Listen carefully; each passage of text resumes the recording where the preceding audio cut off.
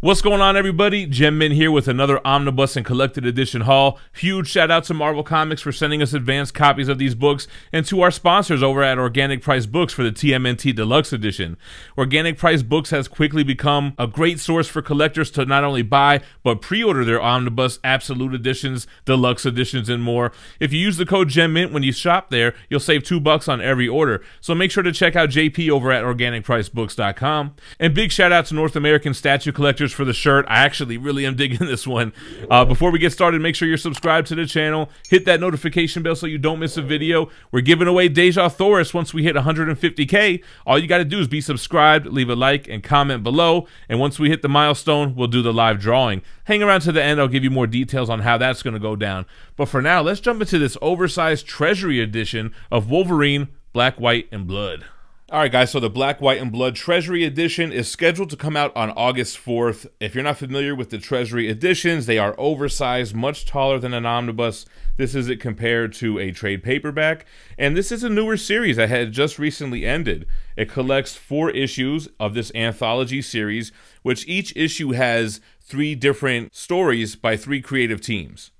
So, uh, the common theme is that they're all in black, white, and red, and we'll take a look at the artwork on the inside. Here's the back, and you can see this has a $30 cover price. If you're a Wolverine fan, I liked it. I mean, I read, I think, the first couple of issues, but I'm more of an ongoing story guy, so I didn't read all four. But great oversized artwork here in this Treasury edition. You can see have people like Gerry Duggan and Adam Kubert. Uh, you have people like Chris Claremont and Salvador Larroca. Donny Cates and Chris Bachalo. So a lot of big names on here. And I can see why they did a Treasury edition. Check this out, man. Weapon X versus Wendigo. That was a dope issue. That's part of issue one.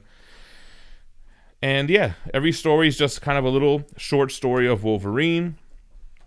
And a lot of books are doing this uh, kind of three color scheme now. I think Deadpool has a new one coming out. Carnage had one. DC even started doing it as well. It looks like you do get some variants and stuff in the back. So you get some bonus material. And that's it, guys. All right, so we have three trade paperbacks in this haul. We have Something is Killing the Children, Volume 3. We have We Only Find Them When They're Dead, Volume 1. And we have X-Men, Volume 3. So let's flip through these and see what they're all about. Since I had the X Men trade ready to go, let's take a look at this one. It has a release date of August 11th by Hickman. You got Phil Noto there, Booth, Asrar, and Mobili. Let's take a look and see what issues this collects. So, X Men issue 16 through 20. I have read all of these issues. I'm caught up on the X Men stuff, although I started to drop some X titles. Um, stuff like Excalibur, X Corporation. Uh, I ended up uh, dropping Marauders, although I really liked how it started out. But uh, I'm trying to remember what arc this was. It's probably um, post um, Ten of Swords, right? Because I feel like that was in issues 13 and 14 and so. So if you are oh this this issue got my pick of the week when it came out. X-Men 20 is the closest thing to House of X Powers of 10 that you're going to get in these uh, ongoing issues. the trade's worth it just for that. Uh, so some variants in the back as well, uh, and this has a $16 cover price. Moving over to Boom Studio, so already they have a harder card stock on their trades. They really go all out with their single issues and their uh, collected editions. So James Tynion the fourth, you have Werther, uh, Dell'Edera, Miguel Muerto. So the third volume of Something is Killing the Children. And does this lead up to issue 15? Let's see. Yeah, issues 11 through 15. So this was the end of the first big arc. They went on a little hiatus after this, and then they came back with issue 16, and now they're kind of going to Erica Slaughter's um, origin as a child. So this wraps up the main first arc. You have great kind of creepy horror inspired art styles here. It's a great series. If you guys have been missing this in single issues, you got to pick up the trades, get caught up, and start reading it ongoing. And then another one from Boom, you have We Only Find Them When They're Dead. This is by Al Ewing, probably most known for doing Immortal Hulk right now, Simone Di Meo. And I thought this had a really cool concept with it. This is like um, a story about these space cadaver harvesters is the best way to probably put it. Uh, they're out in space and they harvest the bodies of these dead gods. What's odd is they only find them when they're dead. So this is the first five issues, $10 cover price. Uh, and of course, the hook is, you know, what happens when they finally find a god that's alive, right? So it's got really kind of trippy artwork, very colorful, very flashy. I like to describe it as like, it doesn't have too many black lines, right? Like it's kind of a lot of just colorful, uh, traversing through space type of scenes. The, the gods are huge that they're harvesting. And then there's inner turmoil between the crew and the other different ships that are trying to be the first to harvest the gods for their resources and things of that nature. So it's an interesting concept for sure. I mentioned Organic Priced Books hooking it up with the TMNT Deluxe Edition. This is volume 13 with Mikey on the front. I'm super behind on reading these. I think I've read up to volume 9 or so. I really got to just buckle down and get caught up on these. Ideally, I would love to get caught up with the single issues because every time I see them coming out weekly, I- am always feeling some type of way that I don't put them on my pull list. So, anyway, let's take a look at what this collects. We'll take a look at the artwork and yeah, all right, Turtle Power Baby, Volume 13, Michelangelo cover, yellow spine. And let's see what this collects, guys. So, you got issues 90 through 100, plus the 2019 Free Comic Book Day issue, the Macro Series Raphael, and the Shredder in Hell miniseries. Wow, so this one actually has a lot of great material. Cover price of $59.99. And let's flip through it. So, you got your cover page. Get your table of contents. They all have the same formats, which is nice. And, you know, wow, great artwork. A lot of my complaints have been these deluxe editions started having so many miniseries and very little main story issues. But, uh, you know, I guess I would complain if they left out the miniseries. So I guess you got to do what you got to do. I like how this one collects at least, uh, what is it, 11 issues of the main story. And the Shredder and Hell series was dope as well. So I definitely want to um, get caught up on turtles. Like I said, the artwork looks great here. Look, have an Eastman variant there. Wow, the art does look really, really good in this volume, guys. Nice.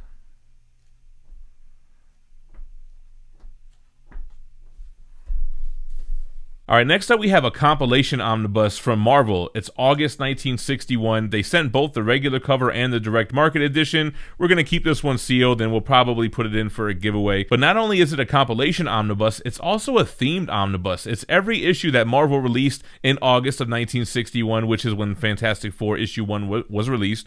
So pretty cool uh, theme. It's kind of like a cool gift kind of thing. Maybe not for everybody because some of this material is collected in other books, but Still a fun book, and let's take a look at both versions now. All right, guys, so August of 1961, on the left, you have the DM variant, which is mostly Fantastic Four number one. I kind of like how they edited it, though, to make it, you know, for this omnibus, that looks awesome. And then here's your regular cover by Javier Rodriguez. And like I mentioned, it collects all of the issues that came out during that month, August of 1961. So you have Kathy 13, Amazing Adventures, uh, 6, Journey into Mystery 73 and 74, Life with Millie 13, Patsy Walker 97, Tales to Astonish 25. I mean, you can see all the covers here.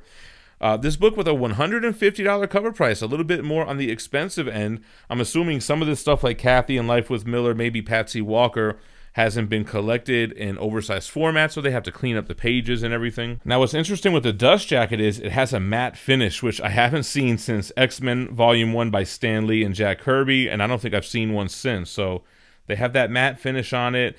The inside talks about the month that made Marvel, right? Fantastic Four is Marvel's first family, their first superhero book, and that's really what catapulted them to what we know now. Talks about all the creators here, Steve Ditko being one, uh, Stan Lee, of course, Larry Lieber. Then you have some strange tales, tales to astonish artwork on the front and back of the actual book. So that's very cool. Let's flip through this really quick here. So, Fantastic Four cover page. I think this would be like a good gift. Like, if you wanted to buy a comic fan, something like, let's say they're Marvel fans, let's say they're Silver Age fans. Uh, it's something that it's a cool coffee table book uh, if you're somebody that has to collect every single omnibus like I used to be, this would be for you. Uh, but yeah, you know, I thought it was a cool theme. Will they do this with every year, with every month? I highly doubt that. But maybe other pivotal uh, years or months in, in, Marvel history that could be interesting, right? So uh, there's Fantastic Four issue one. So that's the only superhero hero book that you'll get in here, and just everything else they published during that month. So that's that's what you see is what you get with this one, guys. Wow, look at the original cover art for Fantastic Four issue one. That's crazy. So you get some bonus material in here from Stan Lee. Cool. Wow, so the uh, Alex Ross homage cover. Then you got the uh, trade paperback for the Marvel Masterworks. I used to collect those before I even knew what Omnis were and then Javier Rodriguez's uh, regular cover. Next up, we got two Captain America Omnis. We have Captain America, the Golden Age Volume 2. right away, I thought, gangway fee. We got to get her to read Volume 2 to give us the gist of it. Love this cover with Cap and Red Skull. And uh, let's take a look to see what it all collects.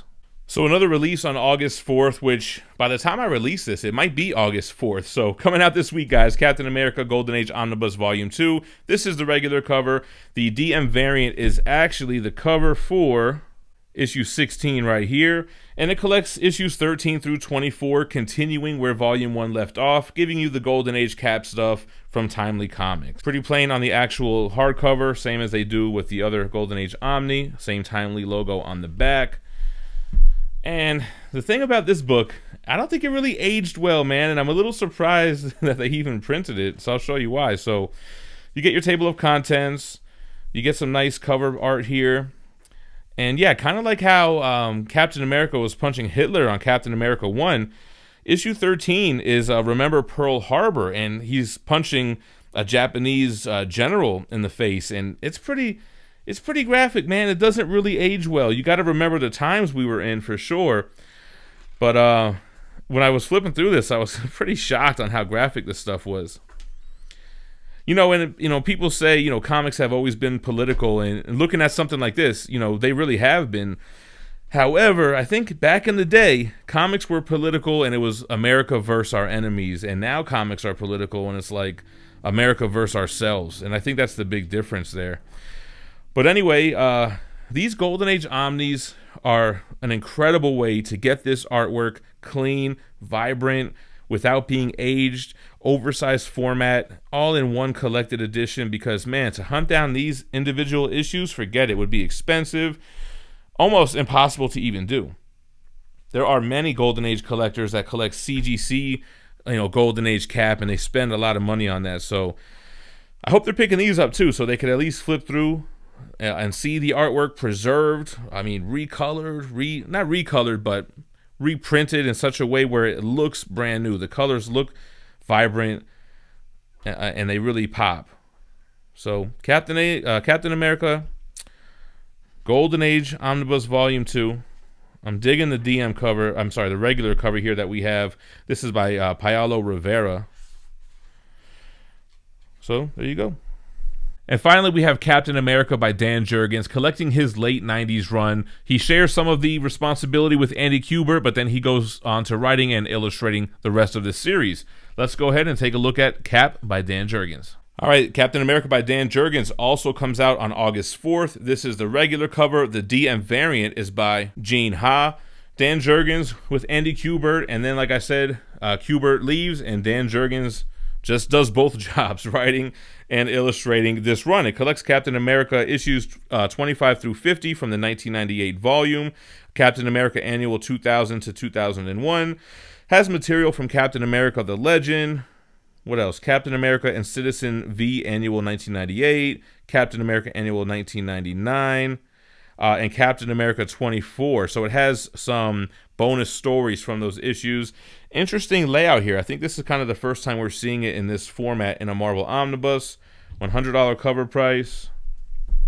And the hardcover matching the dust jacket. So very sleek. Nice image of Cap and Red Skull on the back. I remember seeing these comics in the stands when I was young, but for me, it was all about X Men and Spidey and Spawn. So I wasn't picking up Cap back then. I'm not familiar with this material. When I think Dan Jurgens, I think about the guy who killed Superman. So uh, interesting. Uh, first time seeing this material. The beginning has, like I said, Jurgens, Kubert. You got Green, and then uh, eventually it'll be just Dan.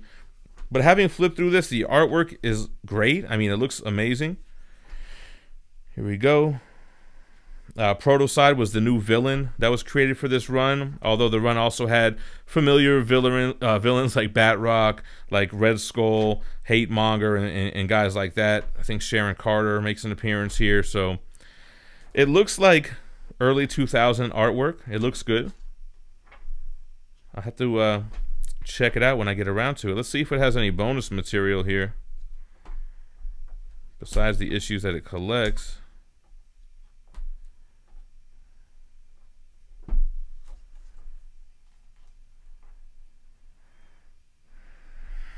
Got some crossbones action, absorbing man. Yeah, so it looks like it has some scripts.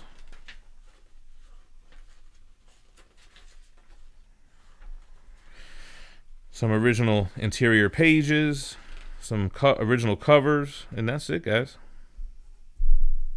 So that's the haul. Again, big thank you to Marvel Comics, to Organic Priced Books, to North American Statue Collectors Facebook group. Uh, we appreciate you guys, and let me know what you think about the haul in the comments down below. That's what's going to enter you into the giveaway for the Dejah Thors 150,000 subscriber milestone.